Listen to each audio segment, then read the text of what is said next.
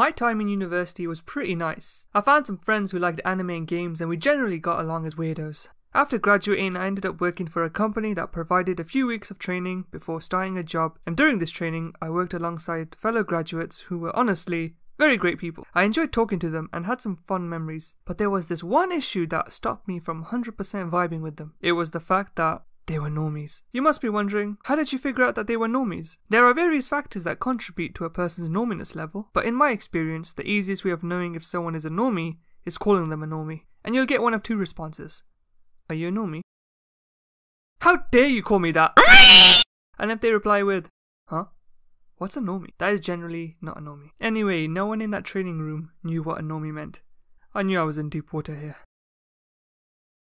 Yo, Jello. Oh crap, what do I talk about? Will they think it's weird if I use an obscure meme? Do I tell them I don't watch football? Don't talk about waifus, don't talk about waifus, don't talk about waifus. Hey, are you good? Hi.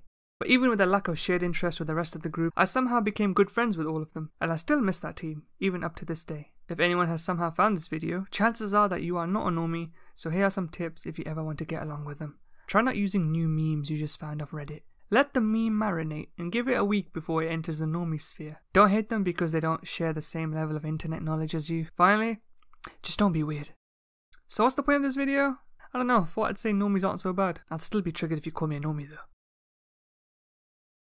I uh I didn't actually watch anime for a few months and I think I slowly started turning into a normie myself, but but luckily my friends held me back and recommended me some shows and here I am, back at it again with the uh, degeneracy.